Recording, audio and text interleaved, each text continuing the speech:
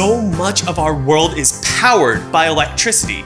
But have you ever wondered what is electricity anyway? What is electricity? Vacuum cleaners, Light bulbs, TV, Not quite. You see, cell phones, okay, not what uses electricity, but what is electricity. computers, oh, oh, time machines, no. electric ovens. electric can openers. Electricity is a form of energy, and to understand what electricity is, we need to talk about really tiny, invisible particles called atoms and their electrons. An electron has a negative charge, and it circles the nucleus of an atom. Zip and Zap present Scary things electricity can do. number one. Get you to Grandma's place. Oh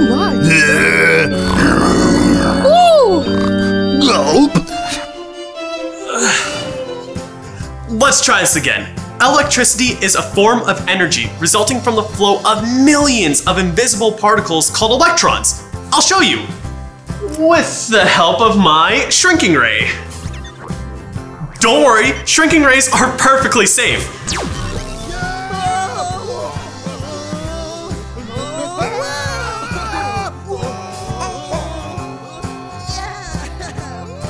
Everything in our world is made up of tiny bits of matter called atoms. An electron is a tiny invisible particle with a negative charge. The negatively charged electrons circle the nucleus of those atoms. But some of those electrons are only weakly attached to their atoms. They're called free electrons because they can jump from one atom to another. When they jump along the atoms that make up an electrical wire, an electric current is produced. And that electric current is what we call electricity.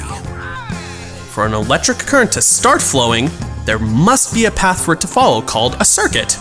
A circuit is a continuous loop of electric current flowing around and around, like in a flashlight, for example. A battery, a light bulb, and a few short pieces of copper wire are connected together in a circuit. With the switch on, electricity flows around the circuit. If there is a break in the circuit, like by turning off a light switch, electricity cannot flow. The lamp will not light. No electricity.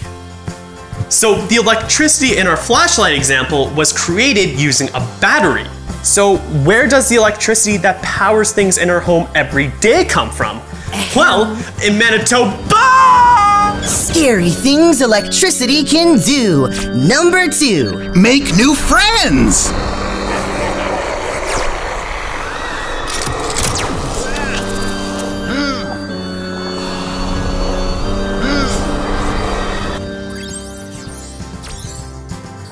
I'll take it from here. In Manitoba, most of our electricity comes from hydroelectric generating stations built on rivers that use the force of falling water to run a generator called hydropower. So, how do those work? The hydro dams store up water. The force of falling water turns the blades of a turbine. The spinning moves the electrons from atom to atom, and this stream of electrons flows through power lines all across our province, powering our computers, TVs, appliances, and lights. Sorry, what? Scary things electricity can do. Make giant robots run amok. Destroy. Destroy.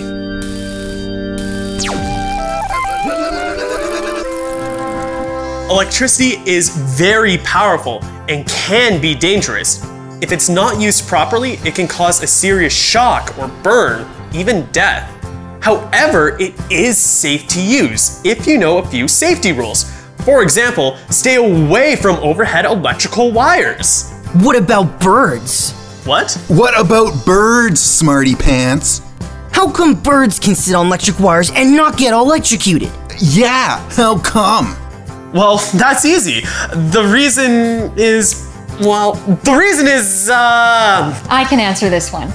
To understand why birds don't get shocked by power lines, we first need to understand the difference between conductors and insulators. Remember those free electrons flowing through a wire? Wires are made of metal like copper. Copper and other metals are good conductors.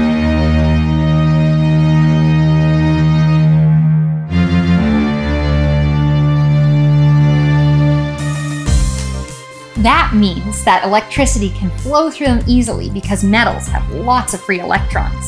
If electrons can flow easily through a material, then it is a good conductor of electricity. But some materials don't have a lot of free electrons, so electricity can't pass through them freely. Those are called insulators. So, what materials make a good conductor and which make good insulators? Hit it, maestro! Conductor. Insulator.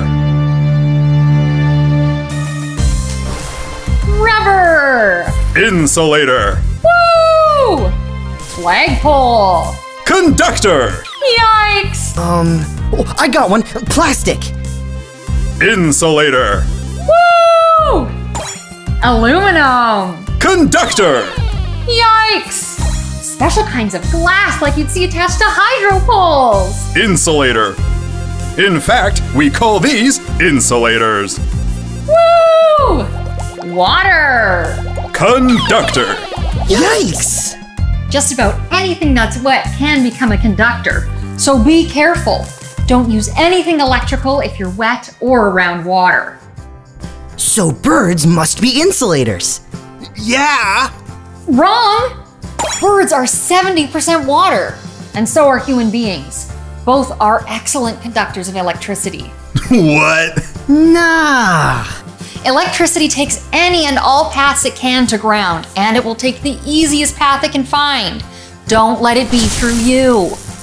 Electricity will even jump to the ground if it's close enough. When birds are sitting on power lines, they're conducting electricity, but they're not touching the ground. If a bird were touching a power line and the ground at the same time, it would complete a circuit, and the bird would get electrocuted, causing severe injury or death. Birds can also complete a circuit by touching two power lines at the same time. Dare you? Double dare you? Double dog dare you? Chicken! Zap. No. Stop it! Electricity can kill you! Kill. Yes, kill! Dead? Dead! Wet feathers conduct electricity. Yes, wet anything conducts electricity.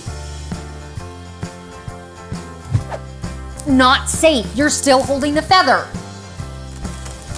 Not safe, not safe, not safe!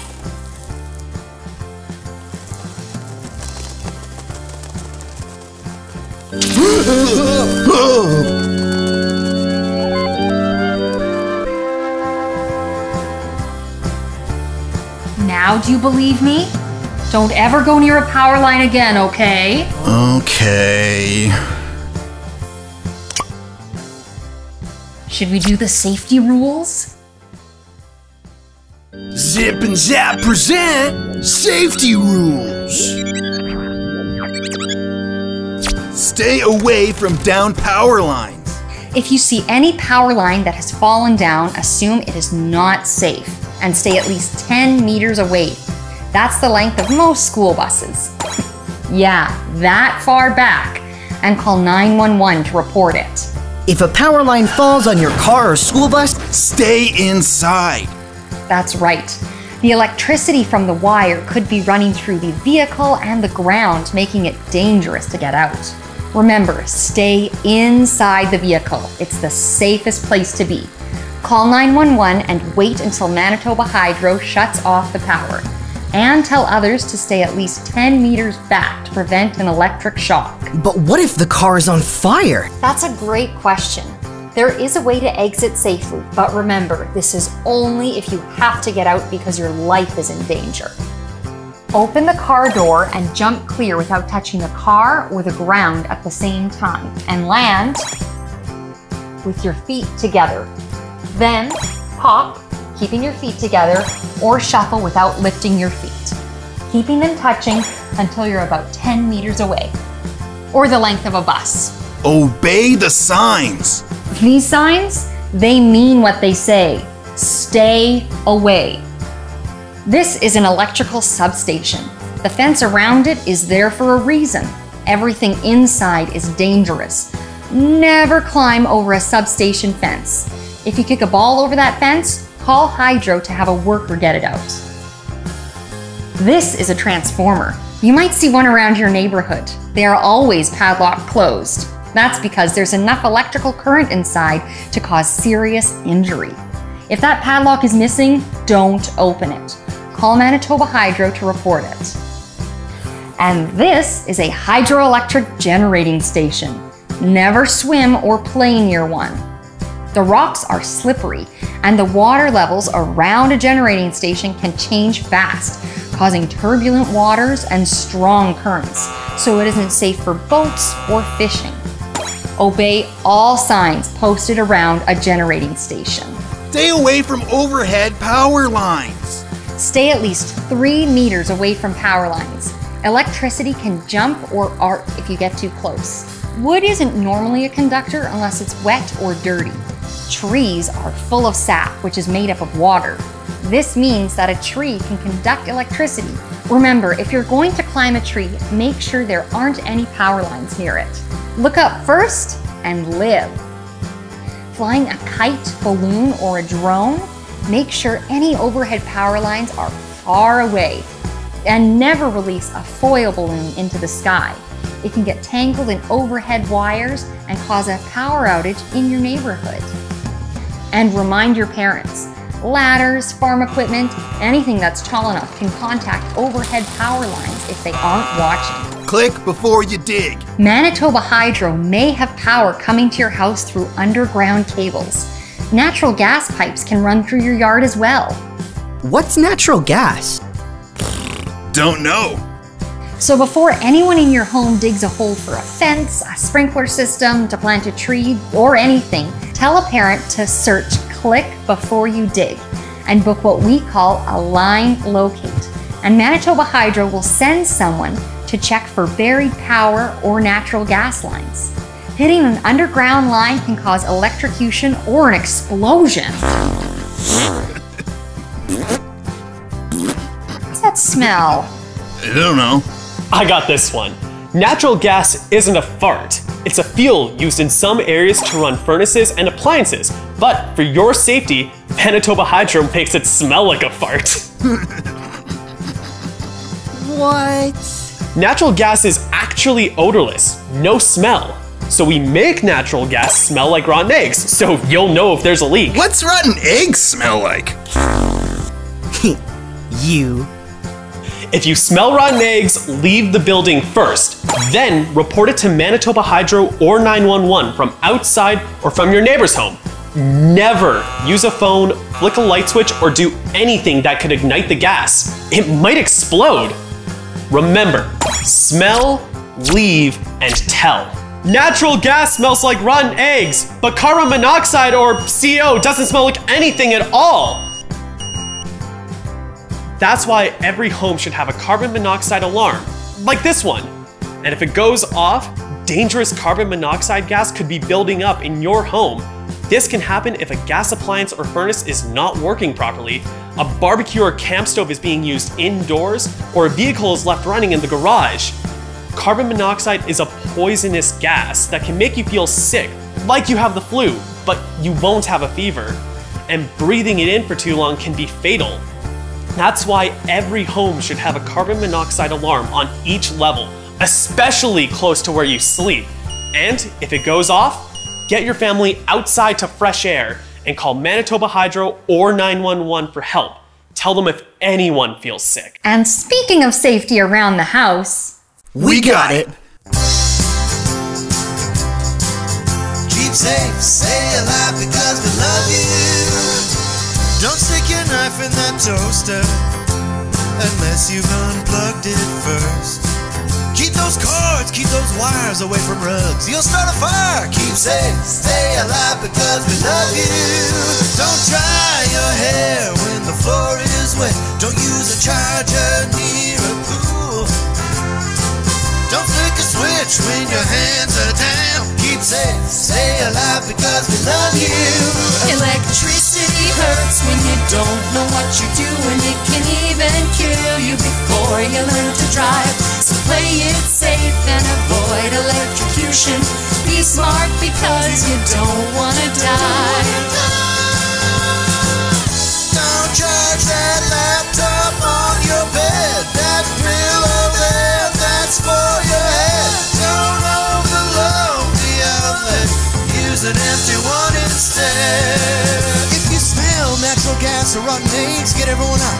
And remember, carbon monoxide's really bad for you and your pets, so tell your parents to check the alarm and get out if you hear it. Keep the furnace and water tank clear of flammable stuff and Keep safe, stay alive because we love you. I never use a damaged electrical cord. I recycle it so there's no doubt. I don't throw water on electrical fires. Give 911 a shout and stay alive because we love you. Electricity hurts when you don't know what you're doing. It can even kill you before you learn to drive. So play it safe and avoid electrocution. Be smart because you don't want to die.